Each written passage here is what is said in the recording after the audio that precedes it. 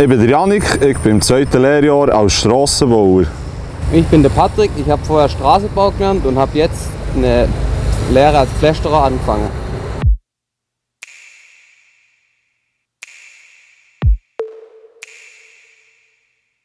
Also ich habe vorher Straßenbauer gelernt und Straßenbau befindet sich halt alles mehr im Untergrund. Oder? Und als Pflästerer siehst du halt, was du am Abend hast gemacht. Beim Pflästerer selber kann man sich noch künstlich verausgaben. Man kann schöne Randabschlüsse machen, Bogen, alles zusammen. Ist halt ein super kreativer Job.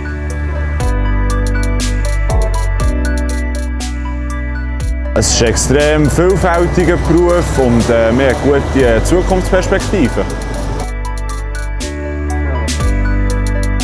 Man kann viel draußen sein, man kann eigentlich kreativ arbeiten, man kann nach Plan arbeiten, aber wie gesagt sehr vielfältig.